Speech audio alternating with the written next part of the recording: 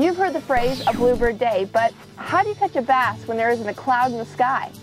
When the weather seems almost too nice, maybe it is, for fishing anyway. A high, bright sky doesn't mean you can't catch fish, but it usually means it's a bit tougher, especially if you're fishing water that is very clear. Bass don't have eyelids, so they don't like the bright light. That's why they hide in the shadows. Usually on a bright day, you'll find bass holding tight to cover a structure.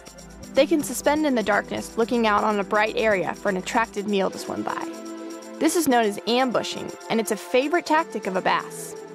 It's also important to cover a lot of water looking for targets that might hold fish.